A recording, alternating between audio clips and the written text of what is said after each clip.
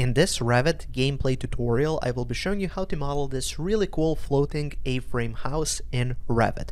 We will be highlighting how to model the structure, uh, how can you adjust the complex curtain wall in the front, how to model these cool stairs, and then finally how to adjust the site.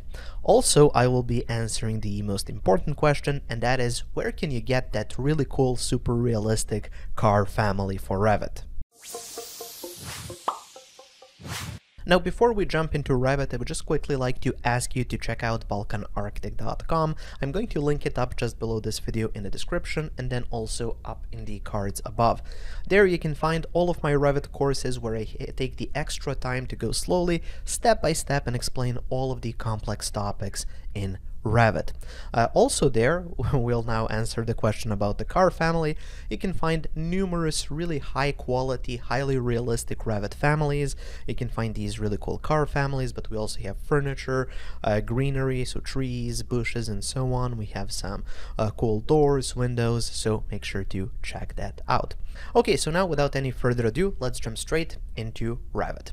And here we are in Revit, and as you can see, I have already prepared this file, so we have a couple of levels here, so level 1, level 2, level 3. Uh, on level 2, which is kind of the ground level of this floating A-frame house, we just have this floor, so we're just going to be starting from there. So to build an A-frame house or cabin, you need to start with a roof, because that's that's kind of the, the main part. So what I'll do is I'm just going to jump in here into level 2, I'm going to zoom in a little bit, and then let's go here to architecture, and then let's go to roof, and I'm just going to be using a simple rectangle and just start from here and then stop kind of shy of the end. Hit the escape key a couple of times. Then you want to select the horizontal lines and uncheck define slope. So the slope will only be defined here on the side. Then you want to select the ones on the side and change the slope from 30 all the way to 60 degrees. Then you can hit apply and this is what we get. Now I'll just go here and let's me let me just readjust this and then here I'll set this to 120 centimeters. So here for the kind of the, the, the, front of it, it's just going to be 120. Okay, so once we have this in place, I can go back now to the 3D view and let's hit finish and this is what's going to happen. Now, I don't like this just because these edges here don't look right. It's obviously not going to look like this in real life. So what you need to do is you need to select that roof and then here for the construction in the properties panel, we have this rafter cut option. So currently it's set to plumb cut. You can just set it to uh, plumb, so two cuts plumb. So that will do this, or you have the option to, to cut square, which is just going to do the same thing, uh, but here when you set up the fascia depth, it's just going to do kind of a, a, a little different job. So here, if I set this to 20, hit apply, it's just going to go down like this, for example. So I don't really want that, so I'm just going to set that to zero, and now we have a flat bottom of this roof, but it's kind of up in the air. So what you want to do next is just select that, go to one of the elevations, I prefer the south elevation here, and then what you'll do is just go to the move tool and zoom in, click anywhere here on the bottom like here, and then you move it down until it snaps kind of vertically on top of this floor.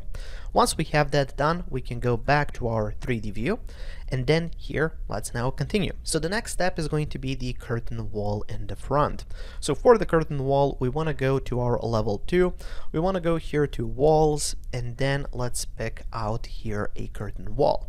So you just want to scroll down and find the storefront curtain wall. Click on that and now here what you want to do is make sure that you have this set to wireframe. If you set it to hidden line, it's going to look like this, and the problem is you don't really see where the inner edge of this roof starts. When you set that to wireframe, essentially you can now see this line here, or this position here. So if I go back to my level 2, now I can just come in here and I just like to be kind of a little bit on the inside go all the way across and then just hit the space key once to flip it to the other side. And there we go. Hit the escape key a few times and this is what we get. Uh, now in this case, if I select this and go into edit type, you'll notice that the layout has been set to none. Uh, both horizontal and vertical. And I just set it to this just because it's going to make it easier in this case, uh, just simpler, simply to start from kind of scratch and then build it. So let me see, let me show you how that works. But if you just want to have like a blank uh, curtain wall like this, you just need to make sure that the layouts are set to none. Click OK. And here I think this is set to kind of a weird height, so let's set it to something a bit higher. Uh, but still that doesn't really matter because we're going to go here to attach top base, click on the roof, and now it's going to attach it up, so let's just delete these elements, and now we have that perfect curtain wall. Now at the moment this is just one big plane of glass so now we have to kind of divide it. So the next step is going to be to come here and uh, let's go to our curtain grid tool, go to all segments and then you just come in here and I'm just going to place a segment, see how it snaps to level 2 and just click. So now we have one on level 2. Now we want to place one below that so let's go like this. Let's go at uh, 30 centimeters below that, so we have another one. Then I want to have a vertical segment, so what I'll do is I'll do, one segment, and then I'll just place it here vertically, just like that. And in this case, I was really lucky because I've managed to hit the center. If you don't hit center, just make sure to adjust it. Hit the escape key a few times. Now here, I don't like this connection, so I'm just going to select this and click on this little button. See that appears this and now it's just going to be above. So it looks a lot more kind of cleaner. Next I'm just going to hover over the window here in the middle. Hit the tab key once or twice until it highlights the actual window. Then you want to select it you want to unpin it and then here in the properties you want to change that to solid. And now here we have a solid panel there.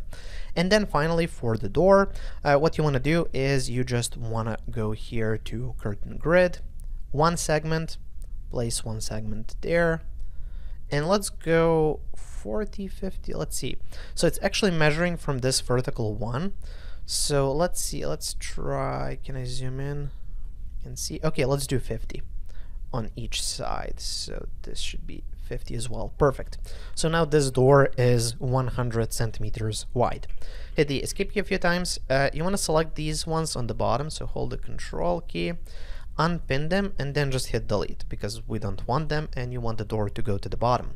Now we're going to be selecting this door, so what you need to do is you need to hit the tab key once or twice to highlight the door and then you click to select unpin it and then here in the properties panel I'm just going to change that to uh, this uh, curtain wall door and it's going to look like that.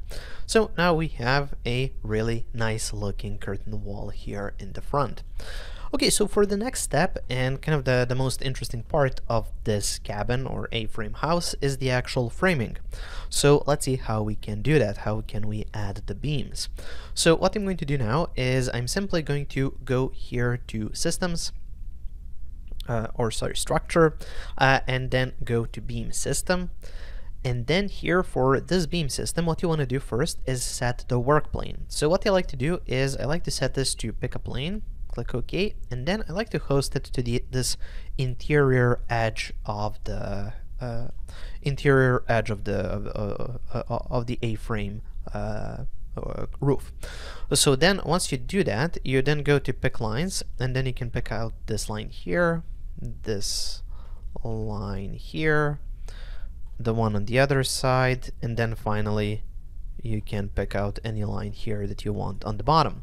So once you have actually picked out the lines, it's not as simple as just stopping there. You do have to uh, now go to trim and extend to corner, fix this up here, here, here and here. Hit the escape key a few times. You want to make sure that uh, this line so the one that has these two on the sides that's kind of the beam direction so in which direction the beams are going and you want to make sure it's vertical. If it's horizontal uh, you can just go here to beam direction and then uh, just place a horizontal line like so or you can just use uh, this pick lines and then pick out one of these Okay, so once we have that in place, then you want to select this one here on top and just extend it a little bit up. So just like that, nothing nothing crazy. Okay, then the one on the bottom, then there you just want to be a little bit crazy. So you just want to extend it down Let's see, let's go up to here. I think that's fine. And let's just leave it at that. And we can just hit finish. So what it will do here is it will place the beams. Currently I have this one loaded in, so the M Timber 140 by 235. I'm happy with that one. I just want to change the spacing to 80 centimeters, hit apply, so it's going to look like this, and that looks perfect. Now we do have a problem. The beams are on the inside, and I actually want them to go to the through the actual roof itself. Uh, now there are many different ways you can approach this. What I prefer to do is just kind of find uh, a way where I can kind of look at this from the front. Uh, zoom in, make a selection of just the beams. So in, if you don't want to select the beam system, make a, a, selection like this, but don't go all the way through because the beam system is kind of hosted on the edge. So you just want to make sure you select like this. So now we only have those nine structural beams. And then here you can go and set the uh, Z justification from top to bottom and then you just want to give it like a 2 centimeter value just so it goes kind of inside that roof. And there we go. So now it's on the inside. Then you just want to select the whole thing. So you just kind of hover over the edge and it's going to highlight like that. Select it, go to the site plan. And then in the site plan, you simply want to use the mirror uh, tool. So mirror, pick axis, and just pick this uh, oops, uh, a line in the middle like that. And then when you go to the 3D view, it should be like this. And we have that kind of A-frame, uh, uh, hovering A-frame house look. Now, now here in this case, the, the, the, the one on this side is actually a bit lower. So I'm just going to go here to edit boundary and then just extend that a bit further. So it can look like that. So there we go. So now we have the framing and uh, we have the uh, we have the curtain wall and we have the uh, the roof. Now the next step is going to be to model uh, both the site and the stairs. Now these two kind of go together because uh, the stair is kind of hosted on the site and it uses site. So let me show you how we'll do that. So first I'll model one part of the site. So if I just go here to the site plan, uh, here this is set to under uh, wireframe. Let me just set it to hidden line. Perfect. Okay, so here what I want to do is I want to add that wall. So let's go here to the wall tool. I'm just going to be using the uh, exterior wall here. Okay, uh, and then what I'll do is I'll set it to exterior wall brick, and then I'm going to come from here gonna find this position somewhere over there. Perfect. Go underneath the house and then go out like this. Okay, so once we have that wall, you'll see I've already set it before to 51 unconnected. So basically, if this is just set to level 2 or something like that, if it's tall, you just set it to unconnected and then you set it to that magic number, which is 51. Now you might be thinking, well, why is 51 the magic number? Well, because 51 is three heights of kind of an average stair. So the average stair is 17 centimeters height, uh, so 51 is three times that. So this is actually three steps tall, and we are going to be using that. Now here also this the bricks are on the outside, so I actually want them to face inside. So let's go back to our site plan and just flip this here, here, and here. So now it's flipped. And now in the 3D view, yeah, looks much better. Okay, so once we have this in place, now we can start the stair from the top of this wall. So what I'll do then is I'm simply going to go to, uh, the stair should be from level 1 up to level 2. So let's go here to level 1. And uh, because I have set some uh, underlay settings, I can see the house above. I can set this to fine, so now I can see even the beams if I want. Uh, so anyways, for the stair, uh, what I'm going to do is I'm simply going to go here to the stair tool, and then here we have our stairs. So here I have this modern floating stair, which I'm going to use, and if you want to have this whole template, which I'm using, which is going to have all of these important parts just to kind of complete this project, well, you can find that on my website. I have two architecture templates, and we have one structural template. So if you want to check that out, I'm going to link it just below this video in the description and then also up in the cards above. Okay, now let's go back to the stair. So here, what you want to do is you want to set the stair to go have the base level at level 1, top level at level 2, but give it a base offset of 51 because we're going to start the stair from that wall. So once you have that, you just go simply here to run, you uh, click, you extend. Now here it's going to report how many you have created and remaining. So this is six or six created, five remaining. That's good. You can go to the other side and then you finish it like that hit the escape key a few times. So in this case, what I'm going to do is I'm actually going to take a look here and see. So uh, I'm going to have a wall here, which is going to be actually holding the stair. So for now, uh, let's just have this stair like that, and I'm just going to bring it in. So here, uh, this is where that wall is going to go. So I'm just going to bring the stair in closer like that and I, I, think I'm just going to leave it here as is. Uh, now let's go to the 3D view. So this is where the stair is right now and then I can hit finish. There we go. So that looks okay. So now let's actually add the host for the stair because that's going to help us a lot. So, uh, and there's a little bit of back and forth here and that's just how it is when it comes to modeling these types of projects. Uh, so now you want to go to, I think that's level 1, yep, uh, and then go to wall, and then this is just going to be our uh, interior bearing wall, I think, or no, let's just go with the interior wall. Uh, and then for the height, let's go up to level 2, but actually I'm just going to give it a top offset of 90 centimeters because it's going to act in as railing. So let's hit apply and then come from here. Actually, let's set this to wall uh, finish face exterior and flip to the other side and place it here. And then hit the escape key a few times. Okay, now I can select the stair, go into edit stair, and then I can just kind of move this stair to kind of snap it there to that wall. So once we have all of this in place, now I can hit finish. I can select both the stair, hold the control key, select the wall, and then I can move both of them from here to here. So it kind of lines up properly with the house. So when I now go to the 3D view, this is what that's going to look like. So as you can see, it looks really, really good. Uh, and then of course you can join these together by going to the modify tab and going to join geometry. Let's see, join geometry, and then you can join these two together. If you don't like this join order, you can switch it. So you can flip it to be this. I prefer this option. And there we go. So now we have that elegant stair. Now, obviously, you still have to get to this wall, uh, which is tall. It's 51 centimeters. So we want to go back now down to level 1. We want to go again to architecture, again to stair, and then here let's use a uh, monolithic stair. Uh, now, if you're wondering why the stair doesn't have railing, it's because here I've disabled railing, so I've set this to none. Uh, of course, you can pick out any railing that you want. In this case, I don't want it.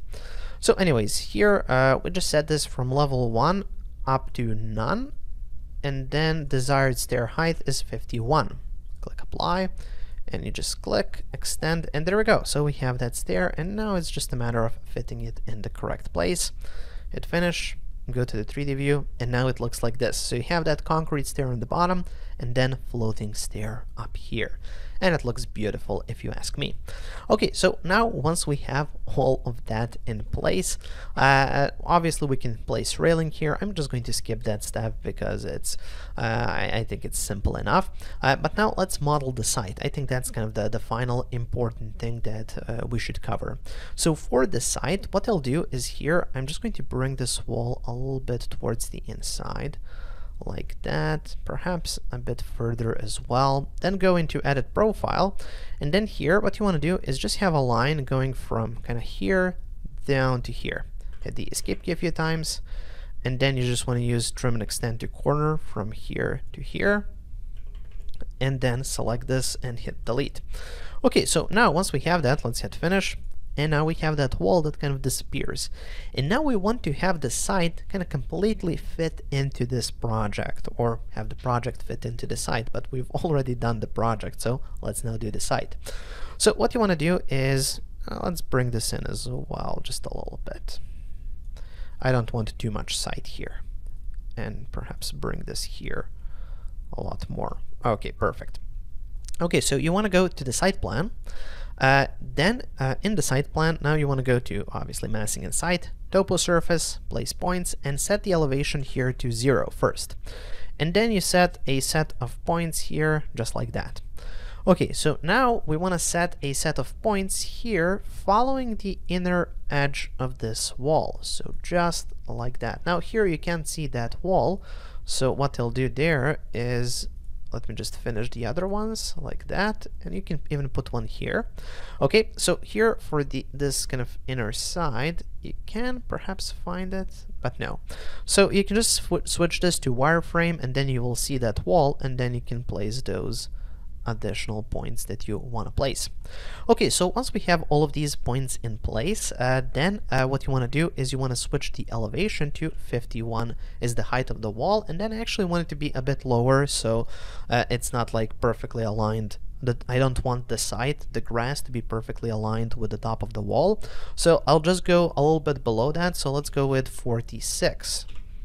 Okay, so now you can come in here and place one point here, one point here, one point here, here, here, here, and then you can just, I like to have one kind of opposite of each of the points there, and just like that, have a few here, 46, and now they should actually be going down. So let's do one at 40 here, perhaps, then we can do one at 30 here, then we can do one at 20 here, one at 10 here, and then we can do 0 already over here.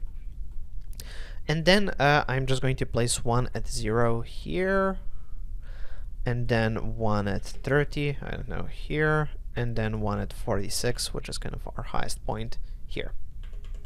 Uh, and now I'm just going to kind of move them about just a little bit here to have something that looks like that. Now here you can see we have some sort of an issue. So if I go to the 3D view, you'll see how the terrain starts to rise here. So we can fix that by adding additional points. So if I just go back to the site plan, so here we have some points missing. So if I just set this to zero and place one point here, that fixes it, see? Now it looks elegant. Now we also want to take a look at this. So here on this side, it looks alright, but I think this one should be brought down to 5 and then this one here should be uh, no 15 okay. And the rest of them look all, all right.